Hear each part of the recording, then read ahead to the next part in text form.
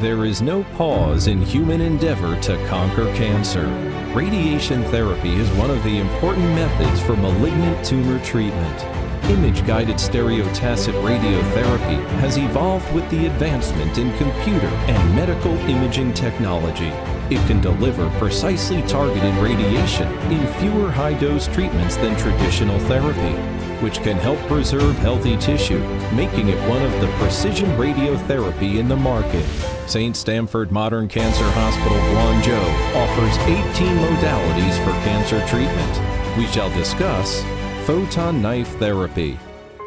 Photon knife, the abbreviation for photon coordinate system, kills tumor cell by photon radioactive rays, working as a surgical knife to remove tumor. Thus, it is vividly called photon knife. Photon knife, controlled by advanced computer system, can adjust irregular tumor beam shape in a full automatic and defined way and reduce the injectivity of normal tissue around the tumor, further improve the dosage of targeting area of tumor, and dramatically reduce complications of radiotherapy. Treatment procedure of photon knife therapy. The first step, locate the lesion. Find the accurate location and range of lesions and adjacent important organs by using imaging equipment and 3D reconstruction technology, including stereotactic device, CT, magnetic resonance, and DSA equipment and so on. Second step, design plan. Using the three-dimensional treatment planning system to confirm direction of ray beam of the photon knife to precisely design a dose distribution plan which could optimize segmentation lesion that adjacent to the important organs. The third step, precise treatment.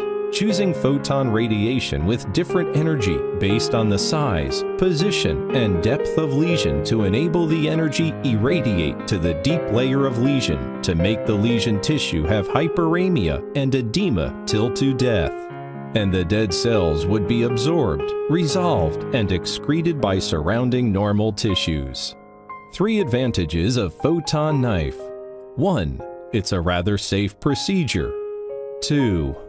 Minimal or no side effect as the photon radioactive rays eliminates the tumor tissue directly inside the body and without complications.